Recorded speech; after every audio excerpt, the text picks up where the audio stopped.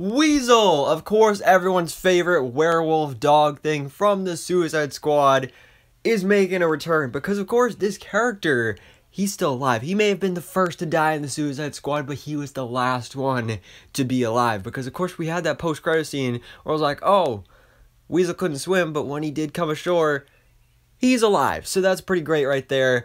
Um, and it was pretty much supposed to just be a joke, but Weasel is actually coming back because James Gunn just said, as you can see right here on Twitter, I don't believe we've seen the last of Weasel.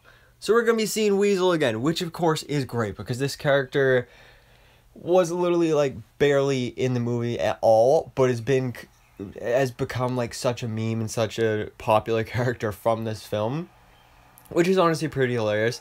Um, and I think it's pretty awesome. I don't really know exactly where it's going to be though. I'm assuming probably maybe Peacemaker season two, or could be in the other Suicide Squad spinoff that James Gunn has been talking about as well. We don't really know where or when this is going to happen, but one way or another, Weasel is making a comeback, which honestly, I'm pretty excited for. But guys, let me know your thoughts in the comments below. What do you think about this news that Weasel is coming back, and where do you think we're next going to see the Weasel return to the DCEU?